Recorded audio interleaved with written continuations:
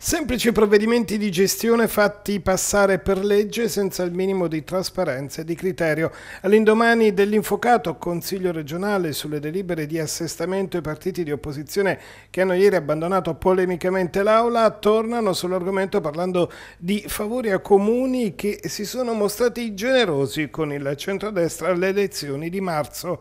Luciano D'Amico, leader di Patto per l'Abruzzo.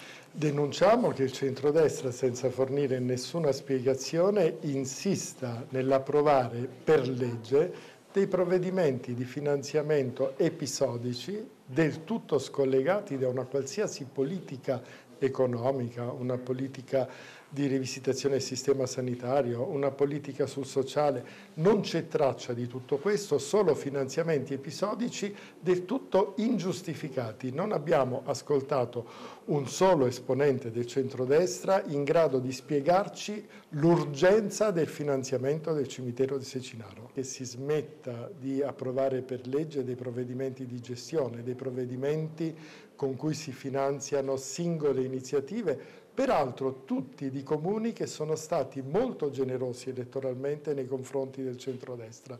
Noi vorremmo ripristinare quelle elementari regole di trasparenza che quando eh, bisogna finanziare attività sportive piuttosto che associative, piuttosto che comuni, piuttosto che altro, possano essere con trasparenza applicate. Noi riteniamo che la Regione debba definire gli obiettivi e stanziare le risorse, non occuparsi per legge dell'assegnazione delle risorse. Bisogna fare bandi pubblici, garantire trasparenza, garantire a tutti i comuni, a tutte le associazioni sportive, a tutte le associazioni del sociale la possibilità di partecipare e attraverso i bandi riuscire a realizzare un'allocazione ottimale delle risorse degli abruzzesi. Basta con questa arroganza con cui ci si presenta in Consiglio regionale e senza fornire spiegazioni si definiscono questi finanziamenti.